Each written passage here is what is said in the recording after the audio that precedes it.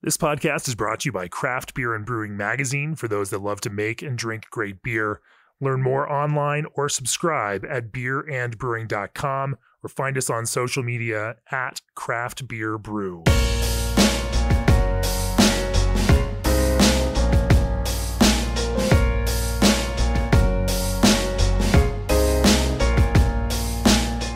It's episode 284 of the Craft Beer and Brewing Podcast, our last of 2022.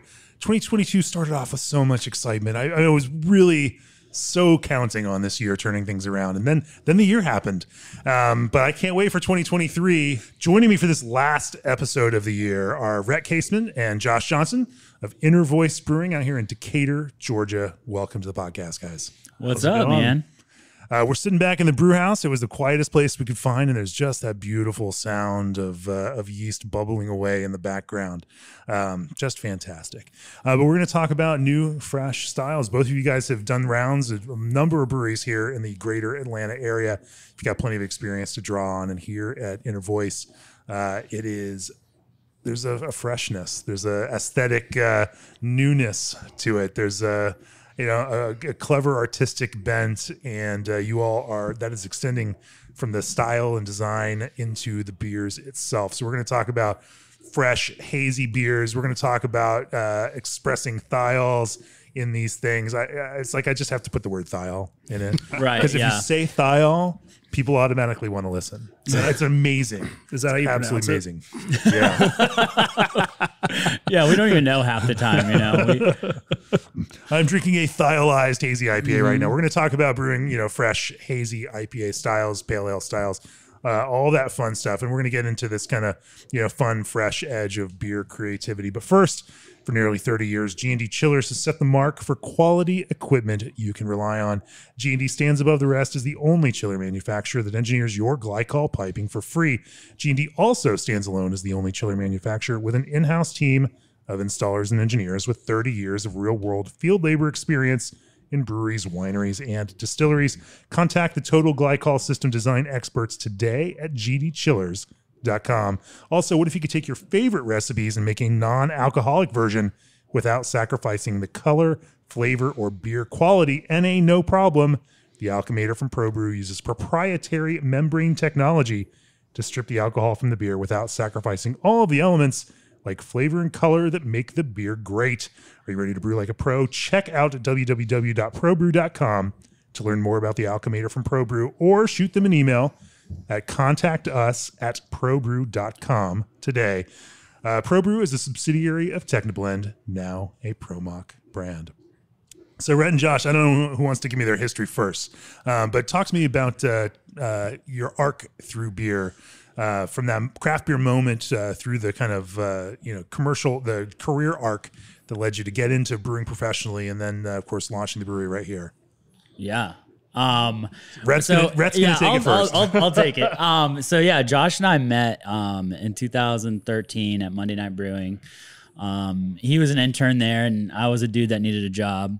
And uh, so, you know, we kind of worked there um, on the packaging line, and um, you know, Josh did some brewing internship stuff over there, and so uh, eventually, Josh took a job up at Heist. Yeah. So like we basically just packed boxes yeah, at yeah. Monday night for the first you know, year, and then worked at Monday night. Right, exactly, It's exactly. amazing how many people came out of the packaging side of breweries Yeah. or front of house for that matter, Yeah. Then got back into brew house and uh, you know and, and got into it for sure. for sure. Yeah. Before that, I was I was homebrewing all the time, and that's how Yeah. I got the the job at Monday night. I sent out emails to all the budding breweries in 2013 here in Atlanta. And A lot, Joel, a lot of brewers that I'll talk to will tell you like Mm-hmm. I'd rather have somebody who just wants to work hard and is interested that we can teach rather Yeah. than somebody who comes in with bad habits that we've got to fix. Yeah. and it was kind of the the first boom of craft beer, so there Sure, were 2013, right. you know they would take anyone. Yeah. and uh, so I was I was homebrewing for like a couple years. I always wanted Yeah. to be a chef too before that. Sure, but, sure. Um, and I I went to school for hospitality management, and I was like, I don't you know I don't want to work in a uh, restaurant. So let me like try and work overnights at a you know regional craft brewery. Sure, sure. But then yeah, I went up to Heist for a little bit, and then Monday night offered me a job again. So then Rhett and I got reunited, and we Oh, kind of stayed on the same track from here on. That, Yeah, from there on I, out. I had gotten promoted to the uh, glorious cellar from the uh, packaging line, Yeah. and so eventually I got up on the brew house, and I was lead brewer over there, and Josh was handling um, what R R and R&D. D. Yeah, so I did pretty much all the R and D at Monday night up until we left. We actually left at the same time. Yeah, yeah. From we, Monday we, night. we had a. Uh, I, I think we both let them know we were quitting like together. Oh. We were. Yeah, it was. It was kind of like a stepbrothers type situation, you know. So, Uh-huh. but it no know, bad blood there. No, Yeah, no, no, bad fun. blood. No, No, no, no. no. I, I stayed on working for like another Yeah. two months. Yeah. you know, we did a um, collab with them too recently. Yeah, yeah, here. so So, no, we love those good. guys. They're great. They helped our career so much. So Yeah, and we we just wanted to We'll get a podcast done with Monday Night one of Yeah. these Uh-huh. days. In fact, in full disclosure, this afternoon I'm supposed to record one, uh, and it just uh, it fell apart at the last minute. And you guys have jumped in to, to talk to me about this. So Yeah. uh, yeah. We'll hear their side of the story. Uh oh. Joke. But one of the things I love is just you know how collegial and how you know there's this network of, of brewers now running breweries in Georgia who came out of the similar homebrew cl- same homebrew clubs, were roommates with each other and homebrewed together. Um, you know, that worked together and and you know even when you leave and start your own place, there's still this nice connection between folks. Um, and it's just nice to have more good quality beer in Georgia. Part of that because the laws have been so wonky here for so long that mm-hmm. this kind of brewery couldn't have existed, you know, five years ago. And so, so there is a lot of new tap room opportunity for brewers in the entire state of Georgia, and everyone is, you know, Yeah. is trying to fill that void for it. And that's the beauty of that law change is we're we're finally seeing a point where brewers can start breweries, you know, career brewers, because it doesn't take that massive capital influx in the beginning right. to be a huge, big scale distro brewery. So um, yeah, the law change is kind of what you know gave us the idea to start Yeah. this. So and that's why we left Monday night in in the first place is because we wanted to spend more time, Sure. um, you know, building up our business plan and everything for this. Yeah, so we. yeah. Essentially, went and split a job at Variant, and we again, We interviewed- stepbrother situation. we interviewed together, and we are like, "Hey, we're, we want to start a brewery. Can we split this job?" Yeah, they were looking for like you know Uh-huh. another brewer, and so yeah, that's basically what Josh said. We were like, hey, can we? Yeah, I'll work two days a week, one week he'll work three, and vice versa. So they didn't know who was coming. Yeah, Like that, day. you know, it's like, but just but- one of us would show up. Interesting. Yeah. Okay. Just work out your own schedule and make it all happen. Exactly. fun. But there's like a vacuum on brewery jobs. So Yeah, I think it's yeah. if you're experienced, you can typically find one relatively Yeah. easily. And of course, if you're good and come from a, a nicely Yeah. pedigreed brewery where you've you know what you're doing and you've got a great track rec- record that they can that this this new brewery can look back on. I mean, you're right. You know that that's your resume. They can taste your resume right there, Yeah, and they know you've been trained, you know, by good folks and you know what you're doing. So yeah, yeah. Sure.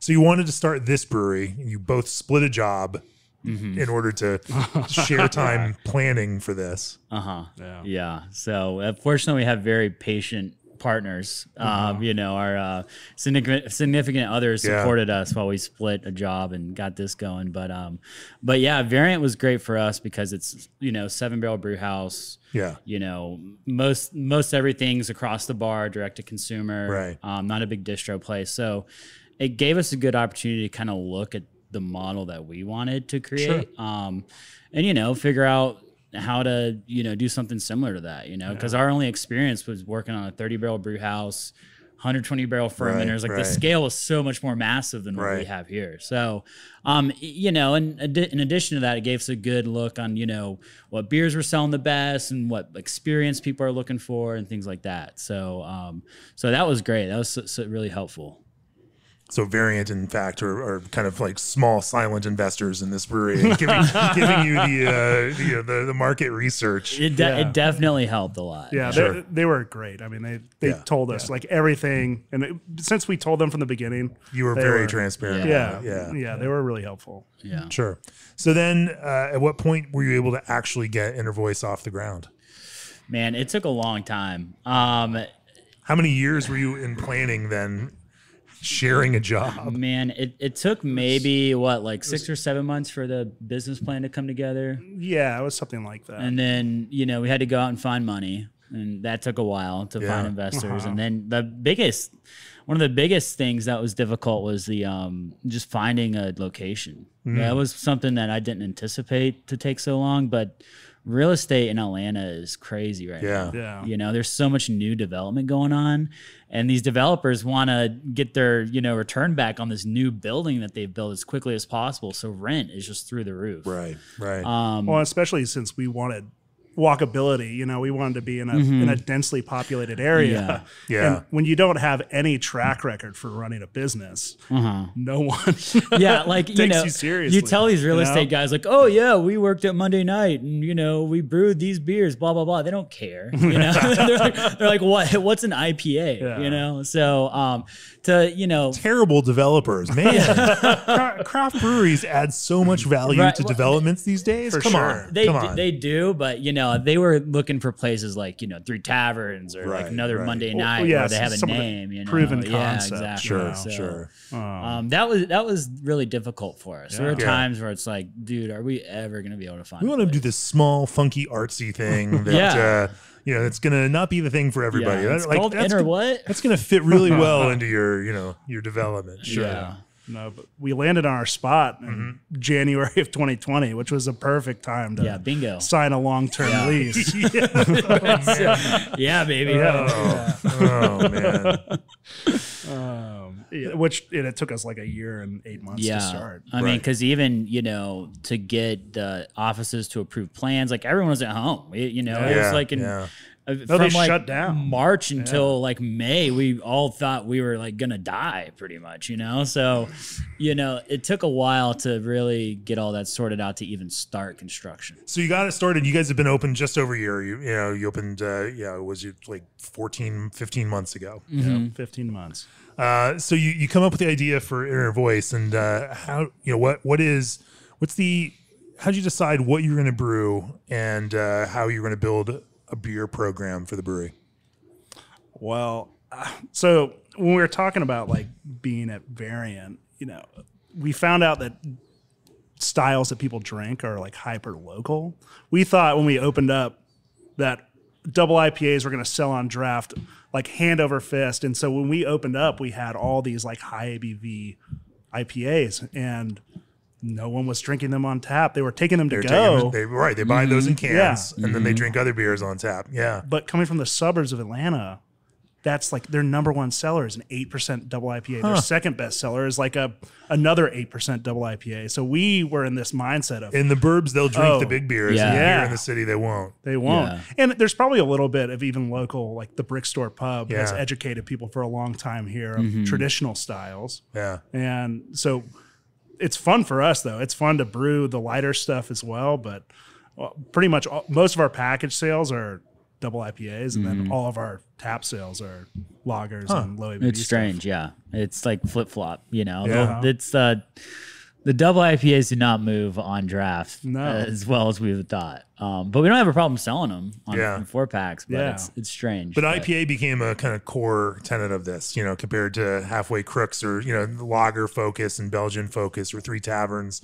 with their initial you know Belgian focus. Like you know, you guys like we're gonna make some IPAs. Well, Yes. coming from Monday night and you know then going to variant, you know that's what we had a lot of experience doing. Yeah. So um, Well, how'd you uh, then you know try to you know come up with what that IPA focus was going to look like, or what people could expect from you out of IPA Pale Ale, this hop forward uh, beer? Yeah, I think we didn't want to create like a single flavor from our IPAs. Hmm. Like, so we change around our malts and yeast constantly. You know, like you're drinking one of the thiolized yeasts from Omega, Yes. and they're really cool. You know, like it's something that's actually the first time we've used their most recent uh, iteration of Yeah. it, which is the Helio Gazer. Um, and it's it's really cool. You know, they throw out they have like a little bit of sulfury like during fermentation, so you're always like a little scared, like, Right. oh, is this gonna taste like rotten eggs? Um, but then it turns into like this passion fruit bomb, and they're they're pretty incredible. But I, the malt character, I think, is what changes a lot Yeah. in our um, IPAs. We try to make them as pale as possible, but we go through a different bunch of different malts that are very pale to try and achieve that. So you want to create this kind of uh, uh, canvas for exploration and attract customers that want to go along on that journey with you. and uh, you know take some risks and do some exploration. You know, are there anyway? Let's talk about some of the consistence that can, you know uh, things that that fall through that. We'll talk about you know what through lines there are, what through lines are not, what those variables are that you kind of shift around in that pale ale space. But before we do that, is your brewery struggling to source or afford berry ingredients? Historic heat waves devastated U.S. berry crops, causing supply to dwindle and prices to skyrocket. That's why brewers are switching over to Old Orchard's craft concentrate blends, which mimic straight concentrates, but at a better price point and with a more reliable supply. Is it any surprise that Old Orchard's best sellers are raspberry and blackberry flavors? Reclaim your margins and order your craft concentrates at oldorchard.com slash brewer. Also, packaging beer can be a daunting task, but buying cans shouldn't be. American Canning provides packaging supplies at competitive prices in order quantities catered to craft. Think single truckloads and half height pallets rather than million can minimums. For a smooth packaging experience, also consider their ultra compact single operator canning machines. Pricing begins at 25000 with a quick six to eight week lead time on most equipment. American Canning exists to help share your craft in cans. Learn more about their ecosystem of solutions at AmericanCanning.com. So let's talk about this. You've got you you then approach this from the idea of exploration and uh, you know making building new flavors in this kind of hoppy beer space uh, and finding that sense of adventure in all of this. Uh, you know what then becomes some of the consistent pieces to that, and what are what are some of those variables that change? Or you want to talk? Maybe we should just, talk about uh, you know uh, like a, a kind of common base construction for for a you know a hazy IPA, for example. Yeah, I, I think most of the time, like what's consistent is on the higher ABV stuff, we always make them extremely like densely hoppy. You know, we we put high density products into it from start to finish. Yeah. and we found that that uh, it's like really tasty, but it also aids in the longevity of its life cycle. you know, yeah. um, we'll we'll have cans. Also, imagine that with a small brew seven barrel brew house here and a lot of seven barrel tanks, that more concentrated hop products like that, you know, cryo and s- and, and whatnot, um, will certainly improve yield and uh, you know, for sure. yeah, it's a huge part of it. You know, we want to get the best yield without sacrificing any of that, Sure, you know, sure. character, you Yeah, know. So we've been using a lot of Spectrum. Spe- yeah, Um, like- I don't know. Have you heard of that product? Sure, sure. Yeah, You- so it's using it on cold side? Yeah, yeah. yeah. Um, and I would say a consistent Citra. You know, yeah, Citra is kind of the background of Yeah. most of them. It, Mm-hmm. Another thing too, since we're not, we haven't done hop selection yet. You know, we have to try and find, you know, the biggest lots of like what is good. Yeah, You know, we, we there's sometimes where we'll get like smoky hops and we'll get you know stuff like that, and you know you'll buy two cases and two cases of it to us is a lot. You know, so we'll have to like chuck it down the trash can. yeah, yeah. Yeah. You got to use the the slice strategy. Um, you know, Zach from Slice was telling me that uh, he'll do collabs, and if he if they get he rubs a, a lot that they really like, like he'll just go reach out to the hop broker and say, "Hey, can I get some of that lot?" That's you know, smart. Good it's a great way to like you know. Yeah. Um, now, of course, you have to do some collabs in order to do yeah, I that. know.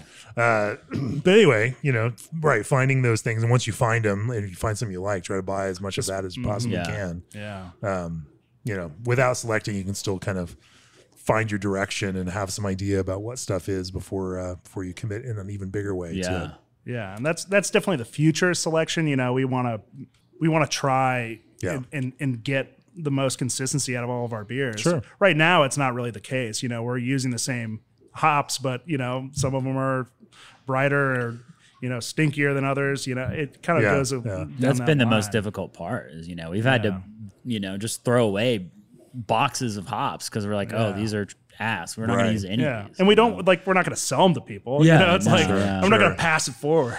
Yeah. yeah, yeah. Maybe on Craigslist or something. yeah, yeah, yeah. So when you, as you're building a, a recipe for a hazy IPA, where do you tend to start? Uh, it, it's typically just we keep them really simple from the malt side, but it changes quite a bit. You know, like we were using extra or like extra pale Weyermann Pilsner because we found that that was the palest Yeah, that you possibly can have, and we have like a low efficiency system, so we have to pack like pack a lot of grain in there, which Yeah. adds color. So we were that was something that was you know we were trying to accomplish from the beginning is just have these like really pale beautiful beers that Right, right. because you drink with your eyes, you know, when they're dark and malty, you you think it's like a relic of the past. Yeah. So w- we were experimenting a lot with that, and we used low color Maris Otter, um, and then we were now trying the North Star Pils. North Raw North, Star, Pils. Hey. yeah, um, just to try to achieve that, and we have a uh, indirect fire system, which also adds some color too. Mm. So, um, but a carameliness, which is nice. Right. You just can't start. You know, if you had a Maris Otter beer, it would look like an amber ale. Yeah. Yeah. Yeah, at, at the when we first started, our burner was burning way too hot, uh, unbeknownst to us, and so we were just cooking the shit out of all these double IPAs, and we are like, "Oh no, we're this, we're gonna make IPAs. This is gonna be our thing." But we got it. We got it all sorted out. we got But dialed we, in. we do. We do s- still pick up some color from the Yeah. from the kettle. So. So Uh, but Pils becomes now, you know, it, it's going to be some variation of that in order to get it as light as you possibly can. yeah, and they all have different character though. You know, it's like the Weyermann stuff has more of like a hay quality, and then like the Maris Otter has like a sweeter, nuttier quality, and then the Pils, which we're we're trying for the first time here in the next week. Okay. Uh, we'll you know we'll we'll update. You'll see how it goes. okay. Um, do you do you change your your uh, you know order for malt depending on what the ultimate beer is going to be, or Ye- what hops you might use? yeah in it? especially with like triple ipas and stuff like that we like we have to keep it like relatively simple or supplement a lot of oats because oats have low color as well um but we we all of our malt bills are like really simple it's like two grains typically it's Yeah. typically oats and it's oats and then Pils So- malt or yeah, some sort. yeah. yeah. a little unmalted in there sometimes. every once in a while yeah, we'll throw feeling unmalted fu- wheat in there funky. or torrefied wheat every Yeah. once in a while yeah. What for? different Just Yeah. to change it up. Why not, dude? yeah, no, for sure. But then in on like our system too, we'll do it. Um, we don't really add very many hops at all. Uh, hot side, Yeah. You know, we we don't add boil hops. We'll um, we'll chill our whirlpool to like 190, and then we'll Yeah. add a, a little bit of incognito and a little bit of hops, like barely any, and really? What's barely any in a seven barrel batch? uh, a pound of a pound of T90 and like uh, 750 grams of incognito. that is really really minimal. yeah, In the whirlpool. yeah. Why why dial that back that much? Oh, we've just found that like you know pe- the consumer doesn't like bitterness. Mm-hmm. Yeah. You know, and the the density from the incognito it, it comes through, and Yeah, then we also spectrum adds Yeah. bitterness. Yeah, when you're, you know, Um, charging the beers with big dry hops, you know, you don't really need a ton of bitterness from the kettle. you because know? you get a lot Yeah. from cold side. There's, I mean, there's some new research coming out around that, especially like measuring perceived bitterness through that, and I think it's all interesting to see where that goes. And you're right, you know, Yeah. it, it Yeah. is there's there is a lot of bitterness that is coming through that, yeah. um, but it seems like risky to not. Well, to, to yeah. do so little on the it- hop well, side- well, hop so side. like the only reason why we add T90 is so it like grabs onto the incognito Mm-hmm. to kind of bring it into the beer. Hmm. Because we did do it once, just like just incognito, no T90. And, yeah, in the whirlpool. Yeah, in the Exxon. Valdez at the top. Uh-huh. Yeah, it'll just Ah, he'll oil. just the oil slick, you know, and we we want to try and like get it down into there. But um yeah, the spectrum adds the bitterness that you would get that we at least get from the the whirlpool. yeah, Mm-hmm. Um and it depending on when you add the spectrum, it it changes like the perceived bitterness. If you add it late, it- Yeah. it, can get really, really bitter. You know, it's kind of like that hop burp right, uh, right. burn, you know. So Let's we'll talk about uh, cold side later on. I'm still curious about this with incognito. Are there specific uh, you know incognito uh, varieties that you prefer using in the, in this whirlpool in this small kind of way? Most of the time it is And- and- Citra. okay. Um, but but we And use there's a T90 Citra and uh, it doesn't Citra have to be. You know, Okay. so- sometimes we'll we'll add um, like we'll add Eldorado or Yeah. Mosaic at that point in time. Whatever we have. It's kinda Yeah, it's open. it's really just like you know if it, if it goes along with the malt or the hot bill, yeah. like we want to keep it together. But you know, Yeah. Eldorado and Citra are pretty much the only ones we use. yeah, Yeah. But that's like really all that's available to us right now.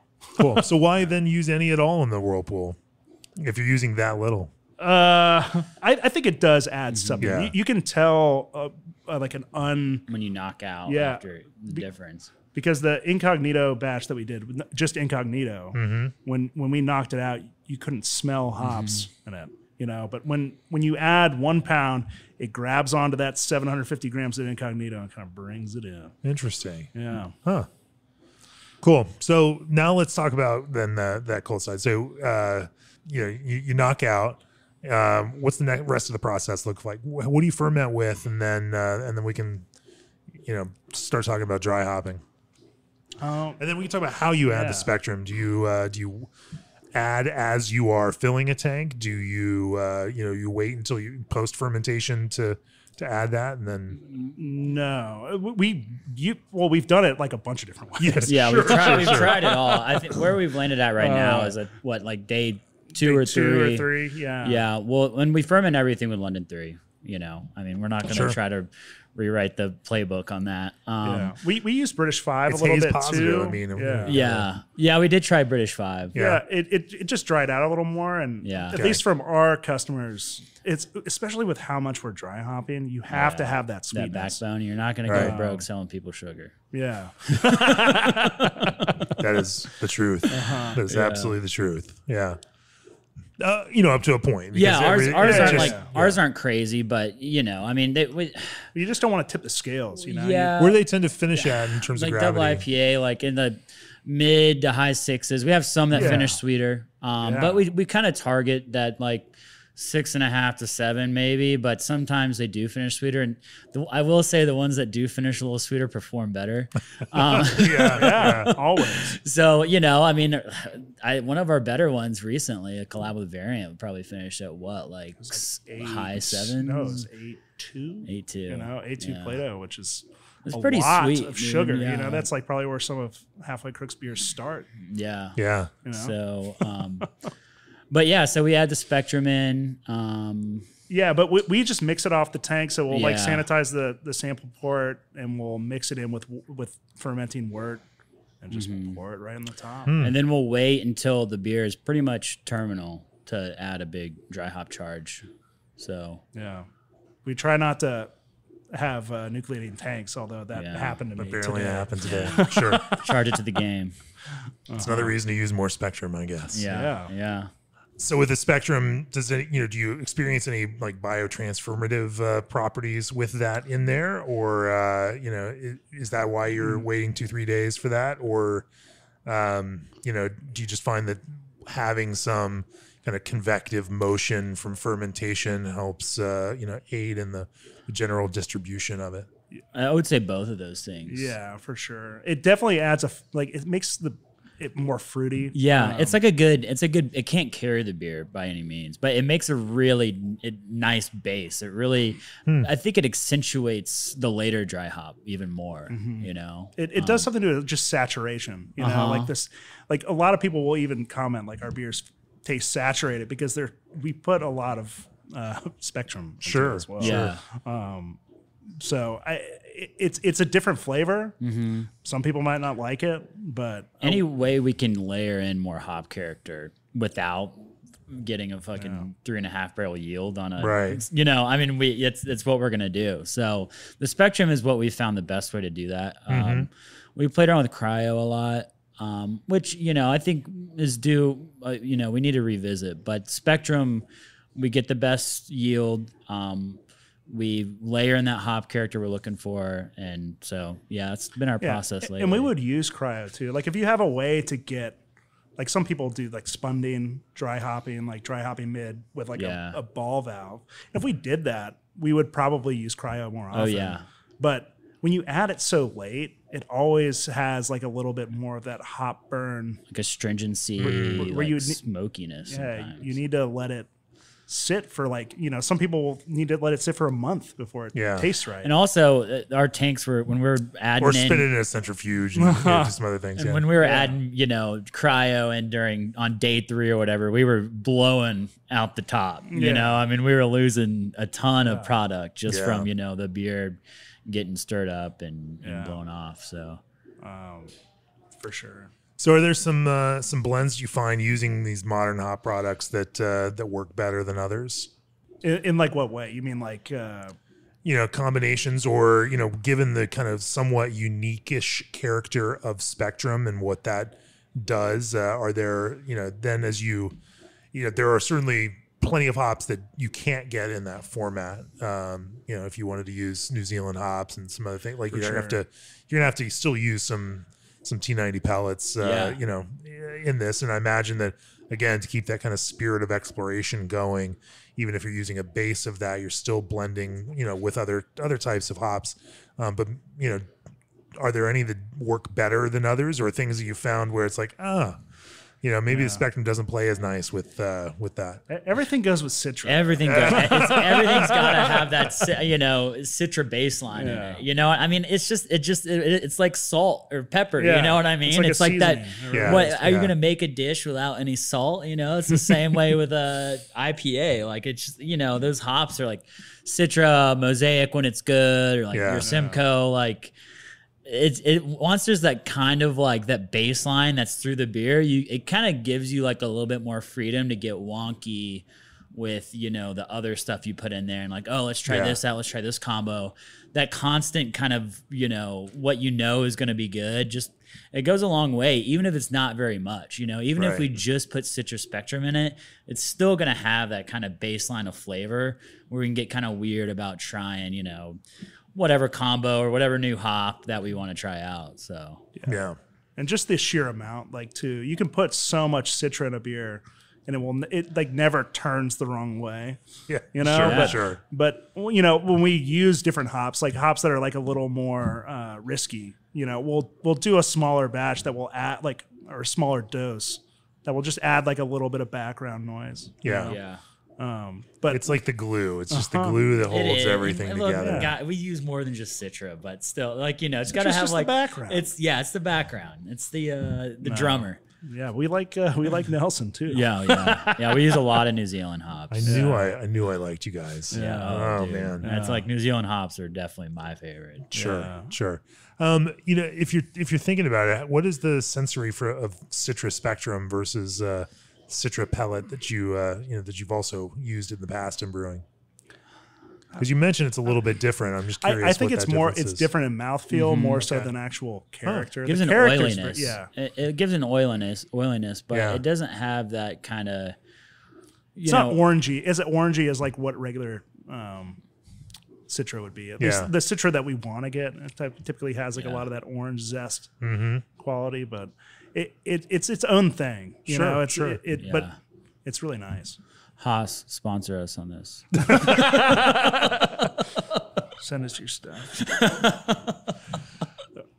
On that note, uh, let's uh, you know let's also let's I mean, want to talk about where you take it from there, especially as you start blending some of these different hops uh, from you know from different uh, localities together. Before we do that, ABS Commercial is a full service brewery outfitter, proud to offer brew houses, tanks, and small parts to brewers across the country. They stock equipment ranging from three barrels to ninety barrels. And offer custom designed equipment up to 900 barrels. Contact one of their brewery consultants today at sales at abs-commercial.com to discuss your brewery project. ABS Commercial, we are brewers. Also, ready to get into canning but not sure where to start? Twin Monkeys Beverage Systems has helped hundreds of breweries around the world tailor packaging solutions that meet the unique needs of each brewery, pioneering many new technologies like integrated liquid nitrogen dosing, expandable canning machines, and automated fill tuning. Twin Monkeys continues to push the boundaries of what is possible and what is necessary. See their lineup at www.twinmonkeys.net.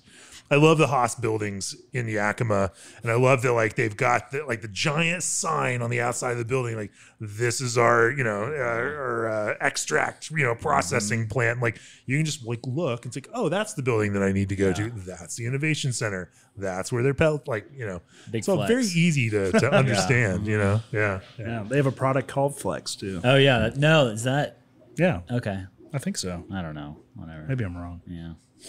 All right. So as you're as you're now you know building uh, some some more broad hop blends, talk to me about how you you know your creative process behind that. Obviously, you're going to use some Citra Spectrum as kind of this core backbone of that, but then you're going to play on top of that. How do you you know how do you think about that creatively and what you're going to use, how you're going to use it, and uh, and what kind of blends you're going to build with them? I I think we prefer our IPAs to be more, be more succinct and the flavor profile. We don't. I don't think we've ever used more than.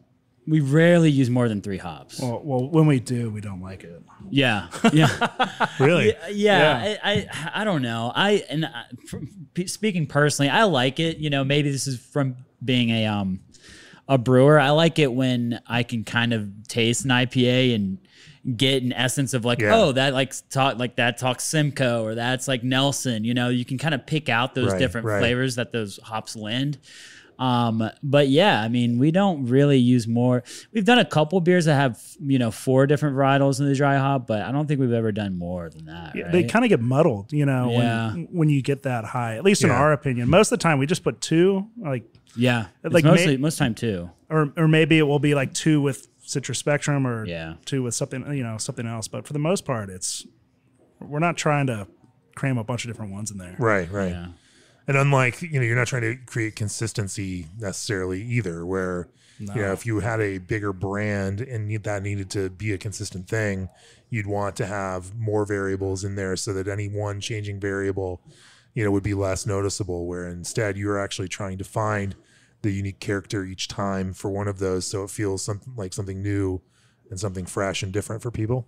Without a doubt. Yeah, I mean, we've only rebrewed the same double IPA like three times, Yeah. maybe. I mean, because you know, in our business, you've got to stay coming out with new shit and you know put new stuff in front of people's faces, and Yeah, so you yeah. know we we rarely need to replicate. I mean, aside from like Memory Farm IPA and a few of our beers that are constant on, but we rarely have the need to replicate hmm. a, a beer. Again, Yeah, you but we still even on the even on our core, we try to make it better. You know, Yeah. so if it's Right. You know, it's not like we're just going to be like it's perfect just the way it Mm-hmm. is. You know, if there's some things like over time that we're like this can be improved, we're going to do it. You know, Yeah. and it's it's it's a great name, so we're going to keep Memory Right, Farm right. IPA. Yeah. But it will always keep the same hops, but we might do like a, a different schedule just to try and make it better. You know, even if we're not getting a good bat, you know, we've toned down the mosaic in it because Oh, yeah. we were we were Yeah. not getting mo- good mosaic, and um, so yeah, you know, I think it's nice being our size, and we can kind of like, you know, alter our products based on the quality of the ingredients that we're getting. You Yeah. know, um, We just So, want yeah. the beer to taste good, you know. Yeah. It- we're, we're not going to like stick to a script just because Right, Yeah. you know, right. we have to.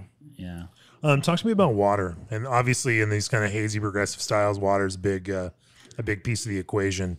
Um, you've got weirder water out here in Decatur, good quality water, but you know, water going out has its own issues.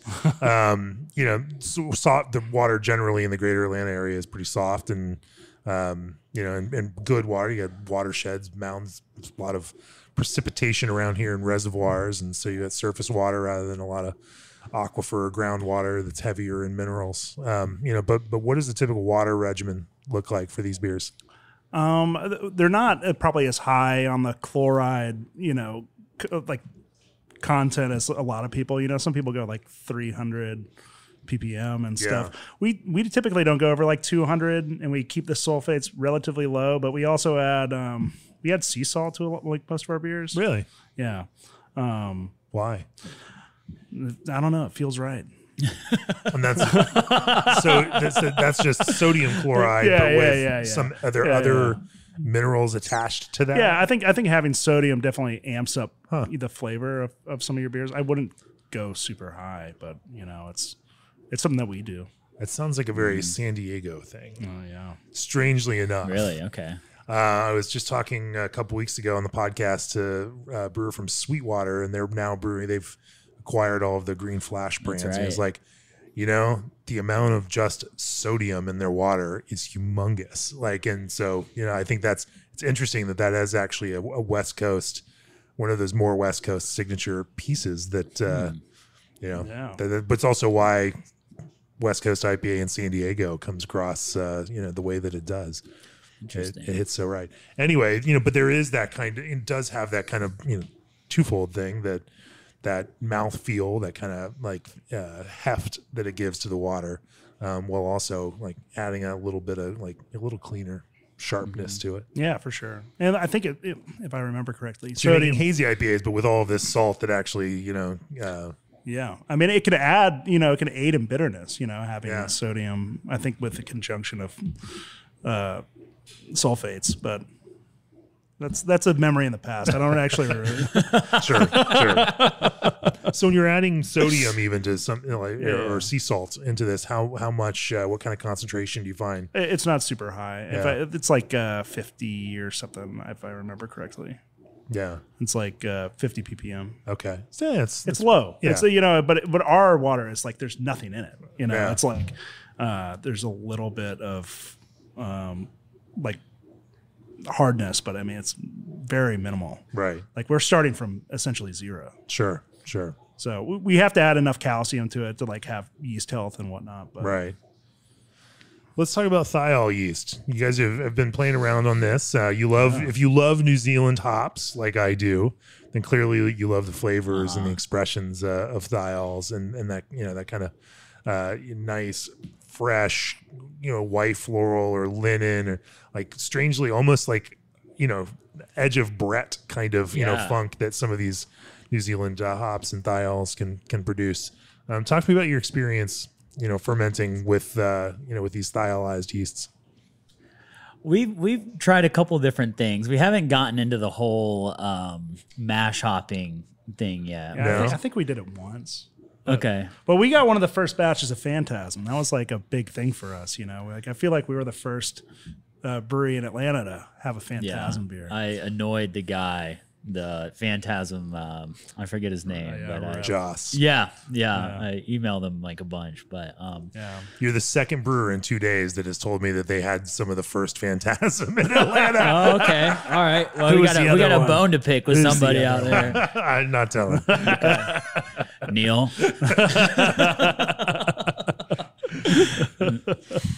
Uh, we did a great podcast with Joss about Phantasm Yeah. uh, earlier this year, and so if you want to learn more about how that whole process is there, but yes, it was it was Neil was talking uh, Neil Engelman at, uh, at Three Taverns was also doing the same kind of thing. Anyway, it's exciting though to want to you know play with new hot products and try you know obviously if exploration is your jam, then uh, you know you want to to be on that front edge. Um, you know, on the thiol piece, then uh, you know, with with these thiolized yeasts, you know, talk to me about using those and uh, you know how, how they've behaved for you, and if you've discovered anything through the process of using them. Yeah, I would say so. We used the Cosmic Punch like kind of right when we opened it. We actually we loved it, um, and we used it for um, like our first memory farm batch had that yeast. Um, and then we just went in favor of something that made the beers a little sweeter. Um, And it produced a lot of sulfur during fermentation. We were adding stuff like Yeah. it, it made us like we couldn't repitch it as often because we felt like we were adding hops mid fermentation to get rid of sulfur and.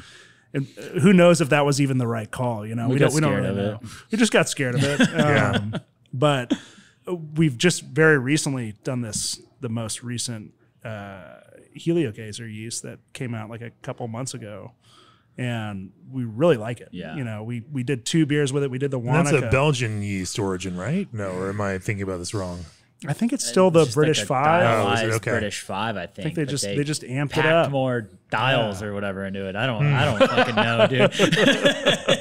It tastes good. Yeah, Um, no. So uh, like during fermentation, it has like an undeniable Mm-hmm. passion fruit guava quality to it, and it's it. And I I hate when brewers say like, oh, it's you get all this passion fruit and guava. um, it- but it was the only time that I've been like, that is undeniable. That's Mm-hmm. exactly what that is, and um, it dissipates a little bit after you dry hop. And I, I've heard some like some reasonings behind that. Someone was telling me about like heavy metals and uh, hops that pull it out of suspension, but I don't know the science behind it. Yeah, whatever. um, it it definitely is still there though. You know, We've definitely had some conversations about that. I think it was Scott Janish at uh, Sapwood, uh, you know, who's been Yeah. talking a little bit about that too. Yeah. but it- it- we still it, it still comes through in the beer. I think you just you had the Wanaka right. yeah. Yep. I gave Yeah. him a Wanaka. and it it. It, it holds up. I think it, Yeah. it stays in there better even than the Cosmic Punch from what we found. yeah. And that one had uh, um, Heliogazer, the uh, Motueka, and Nectaron in it. Ooh. Just kind of a new one. So So hot right now. Nectaron, dude. man. it's dope. Yeah. It's good. Yeah. Yeah. Yeah. It's like kind of danky. Yeah, that's Really? actually what I was dry hopping when the tank. Uh, just- Yeah. nucleated. That's an on expensive mistake then. yeah. Yeah. Uh-huh. Yeah. How you know how do you think about as you guys are articulating hop flavors and, and thinking about blends, even if it's happening, you know, just with one or two or well, well not has to be more than one, but two hops, you know. Uh, how do you think about uh, you know quantities of each, and you know, do you have a language that you know describes these things? Yeah, I, I think like for the most part, when you when we are adding, well, we're cracking bags Yeah. Mm-hmm. actively, like before we're dry hopping something, being like, is this what we want to put into this beer? Is this going to Yeah. pair we'll well? make an it? audible when we're like, yeah, know, well, we've already cracked a bag, you know, and, and if it's done something that, that's smelling good, we're not going to put it in a beer because it, you know, it's like a ten hour day to brew, and I don't Yeah. want to, I don't want Right. to re-brew a beer because we love dumping beers too. Mm-hmm. It's like Right. it's like one of our Yeah. favorite things to do. Every brewer's favorite things to do. Yeah. Well, we, we do it like we've done it a lot since we've Really? been open. Yeah, because we don't want to put anything, you know, mm-hmm. that we're not happy with. There, there's so many good breweries in the immediate area Sure, here. You sure. know, it, we got to give people the best Yeah. beer that we can give them. You know, And it's okay to make mistakes, and we've made plenty of them. you Yeah. know? it's like, but we're just not going to serve it. Yeah, and it's you know, yeah, But the um, the Nectaron, like it, we've gotten two batches now, and the first batch I think is was a little bit different than the second batch that we got, and I like the second batch probably better, but it has a it has like more of a um, uh, like a stinky cannabis quality than the first one did. yeah. So that that double IPA we just dry hop. We use Simcoe and Nectaron. Um, Which originally I would have not thought it would have been like a really good combo. yeah, me neither. But but smelling them together, you're like, hmm, I think that's gonna work. How does that process work? Do you open both of them and like rub a little bit together just to see how the combined smell works, or Not really. It's it's Yeah. it's more just like what we have. We've Yeah. we've already cracked a bag of the Simcoe, Mm-hmm. and we've we, like when we made that Wanaka, we cracked that new batch of Mm-hmm. yeah, uh, Nectaron, and we are like, hmm, I think this will work. that could work. Yeah, and you know, we're never we rarely kind of go for like a yin and yang type situation. You Mm-hmm. know, we want hops that are going to kind of come together to kind of go after a similar flavor profile in the end, if that makes sense. Yeah. So, you know, Simcoe with that kind of stinkiness that it sometimes has, and with the Nectaron with the kind of like danky cannabis, you know, it seems like it's a good combo. So, They smell like relatively similar yeah, yeah, Yeah. well, in a weird way. Like at least this batch. The first one was not. yeah. Um, So you're trying to find different shades of the of a similar kind of uh, you know vein in order to you know build a, a Yeah. hop combo there, rather than trying to um, you know go clashy or contrasty. I would say most of the time, you know, like that's kind of what I was saying earlier, where we Yeah. we prefer them to be more succinct, if that makes sense, of like what general profile we're uh, attacking. Yeah, I love that word and I use it all the time. So uh, I appreciate uh, that piece in your vocabulary. Yeah, It's one of my common descriptors. Uh, you know, if I find a beer that just, you know, that pulls it together like that. yeah, you know, Yeah. we yeah, I hear it all the time. Apparently- from I've, him. I've heard it a couple of times already. Yeah, yeah. Yeah, Uh, yeah. So you- when you bump up to double IPA strength, uh, what changes within the IPA program? I mean, obviously your finishing gravity changes, and they're going to be sweeter. Um, a lot. Well, so a lot of the time on the lower ABV stuff, we don't add Spectrum. We, we just keep it because we want it to.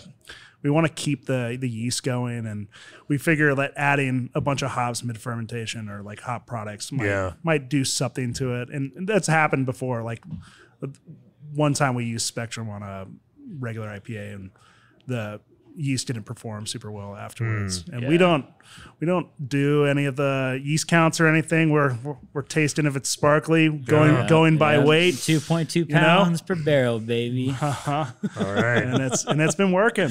You know, Yeah, so yeah. Uh, it always works until it doesn't, right? yeah, and, and then we'll Exactly. and then we'll just dump Then it. you dump the beer, right?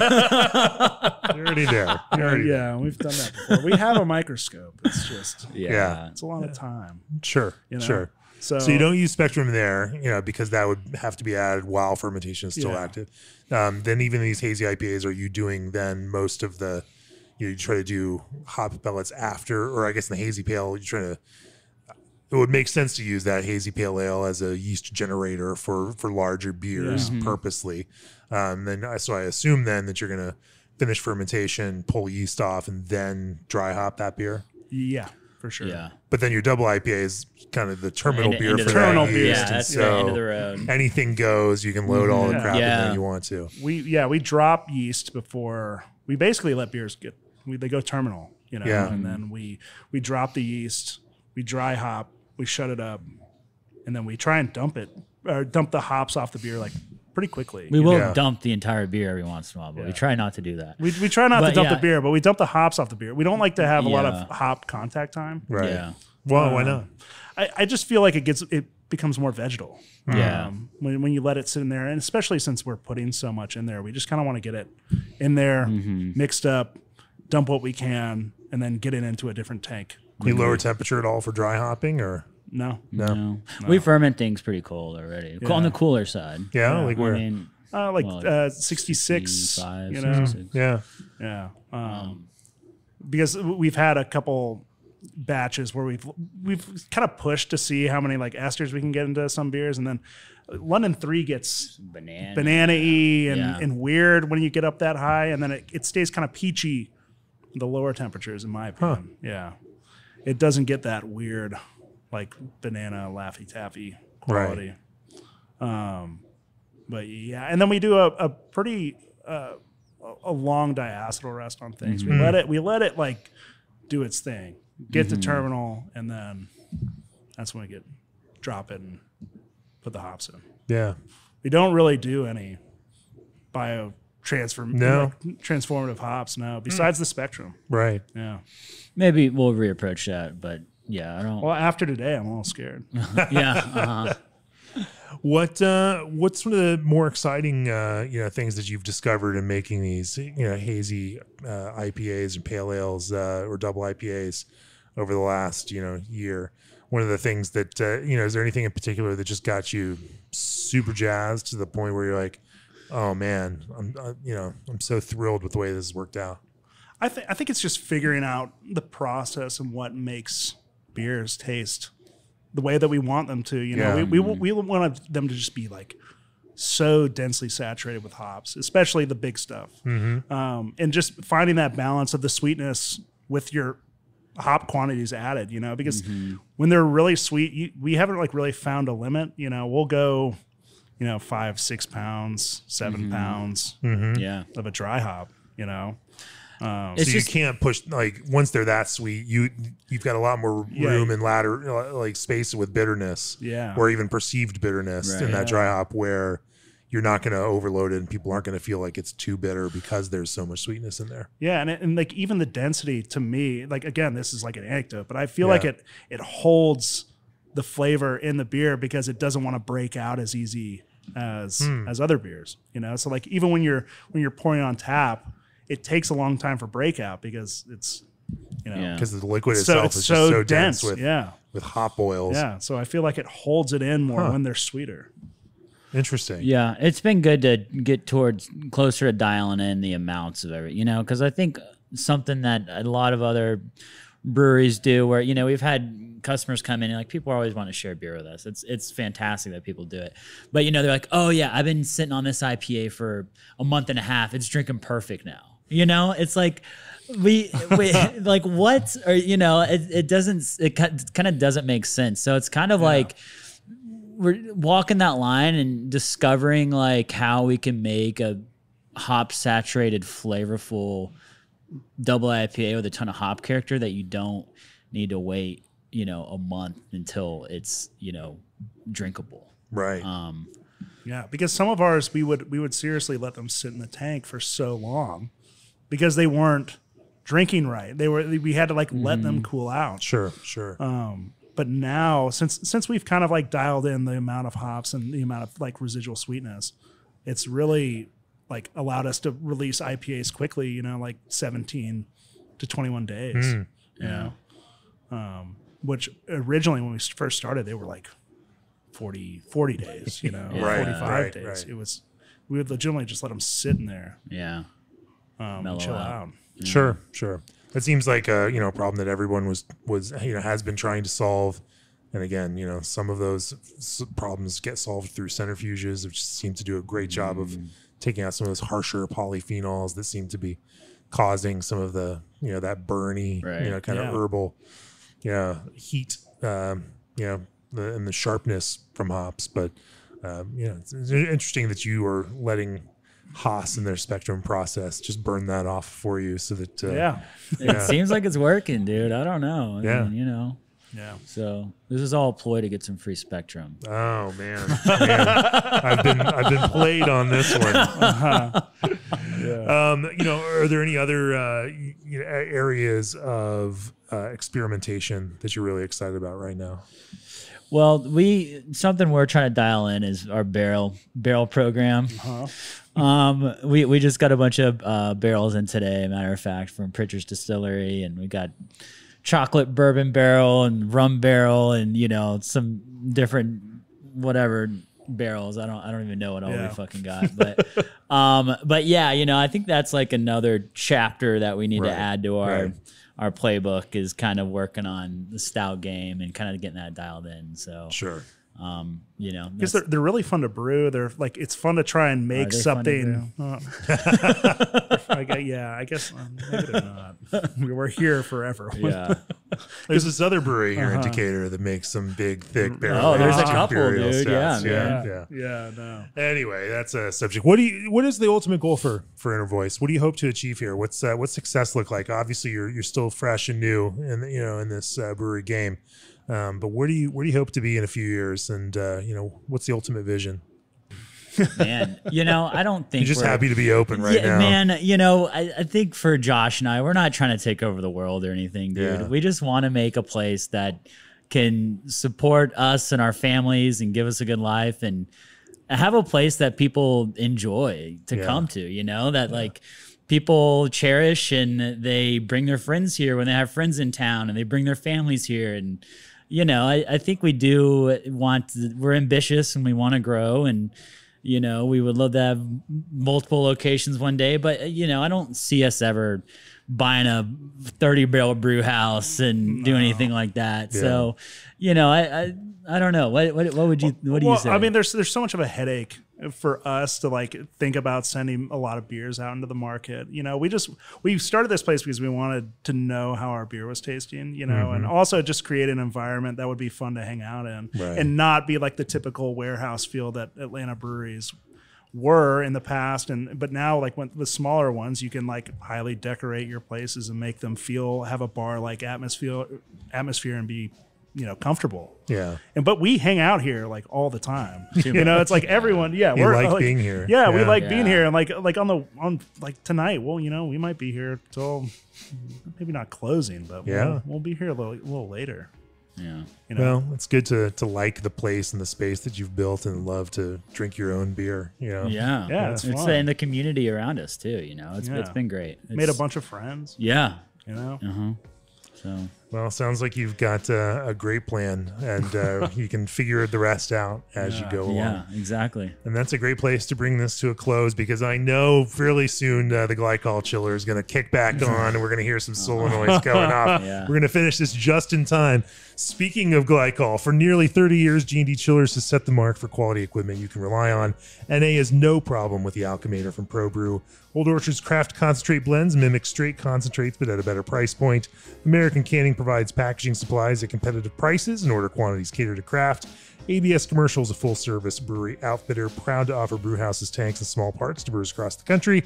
And Twin Monkeys Beverage Systems has helped hundreds of breweries around the world tailor packaging solutions that meet their unique needs.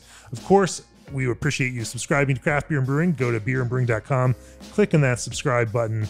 Let us know that this content matters and uh, tell us how much you appreciate these podcasts each and every week. Um, you know, I think we're going to kick something off here, and that is a all access uh, recipe to go along with this podcast. And so, uh, uh, Rhett and Josh are going to share a recipe for a hazy IPA um, that we will push out in a couple weeks. Uh, you know, within a couple weeks of when this podcast airs to our all access subscribers, um, and trying to give you some extra interest and uh, you know uh, that little recipe piece to go along with it um, just just for all access subscribers so go to beerandbrewing.com click on that subscribe button subscribe to the all access tier and come on you can even have a, a recipe for one of inner voices hazy ipas um, people want to learn more about Inner Voice, where do they learn? Where do they go find more about you, uh, both in real life and out there on the interwebs? IG baby, Instagram, Instagram. Uh, at Inner Voice Brewing. Um, our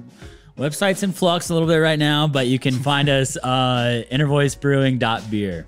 So Check out our website in like six weeks. yeah, wait six weeks. Um, but yeah, our IG is a good spot to find us. Um, so yeah, check us out. Cool. Well, Rhett and Josh, thanks for joining me on the podcast. Cheers. Yeah, thanks, Cheers. dude.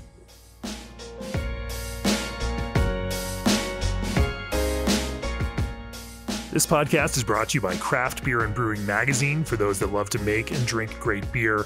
Learn more online or subscribe at beerandbrewing.com or find us on social media at Craft Beer Brew.